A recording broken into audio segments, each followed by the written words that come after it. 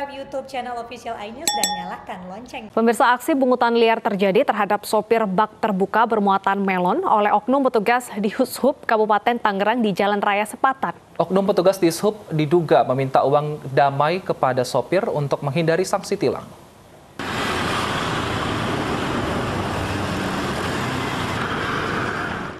Pungutan liar oknum petugas Dishub Kabupaten Tangerang kepada sopir bak terbuka bermuatan melon di Jalan Sepatan Kabupaten Tangerang, Banten viral di media sosial.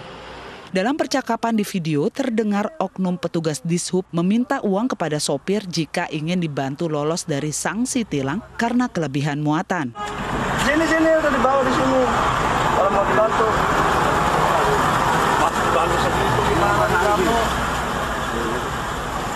Dekat ini pak di situ ntar ngomong sama bosnya aja yuk. Emang kan cuma antar doang. Kalau bapaknya mau mau nggak apa-apa. Sopir ini pun akhirnya memberikan uang kepada petugas Dishub dan pergi melanjutkan perjalanan mengantar buah melon ke Pasar Sepatan. Menghadapi kasus dugaan pungli kepada Dinas Perhubungan Kabupaten Tangerang mengatakan bahwa oknum anggotanya kini masih dalam pemeriksaan petugas PPNS. Seluruh anggota Dishub sangat mengetahui dan memahami sanksi yang akan mereka terima apabila melakukan pungli.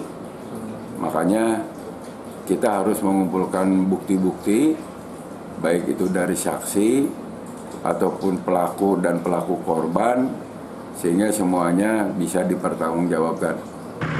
Pihak Dishub Kabupaten Tangerang berharap masyarakat yang menemukan praktek pungli dapat segera melaporkan langsung ke kantor Dishub agar penindakan lebih cepat.